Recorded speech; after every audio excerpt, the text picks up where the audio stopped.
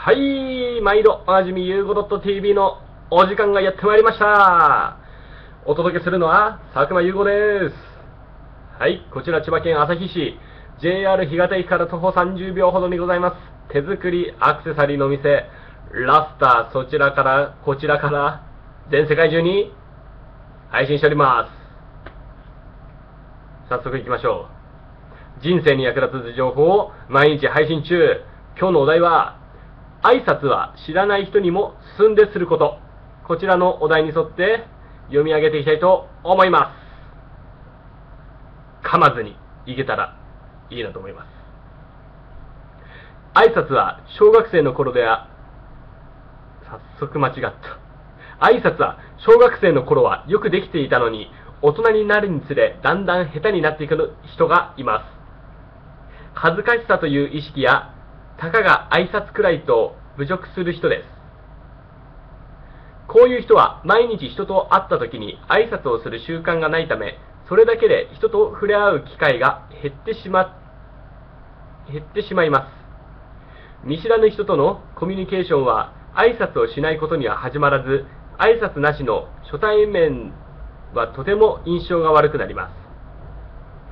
ファーストインプレッション、第一印象は明るく元気であるほど好感を持ってもらえます。挨拶が習慣になっていないと第一印象が悪くなり大きく損をしてしまうことになるのです。私の仕事上の同僚に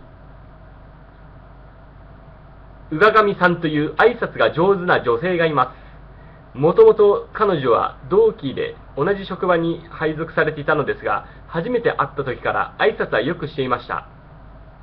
私と彼女が職場の廊下を歩いている時のことです。自分がお世話になっている人はもちろんのこと、知らない人とすれ違っても、誰構わず挨拶をします。おかげで彼女の顔は売れ、職場でも良いムードメーカーになっています。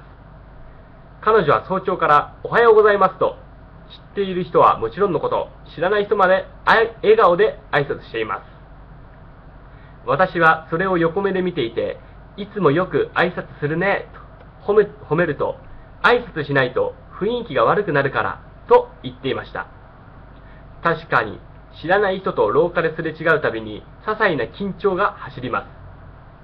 相手のことがわからないため、警戒をしてしまうわけです。しかし、相手から何か挨拶をしてもらしてもらえると、悪い人ではないんだなとわかります。ほっと安心します。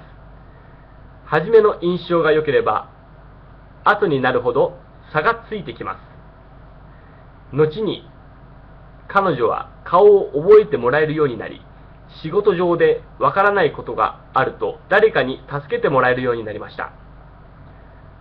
自分の関係している人ではなく、知らない人とも挨拶しているため、周りとの雰囲気も良くなりま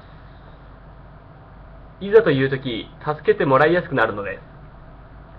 自分をアピールするために何も特別なことをする必要はなく、ただ日頃の挨拶を欠かさずすればいいだけです。知っている人だけでなく、知らない人にも挨拶をすることがポイントなのです。今日の格言。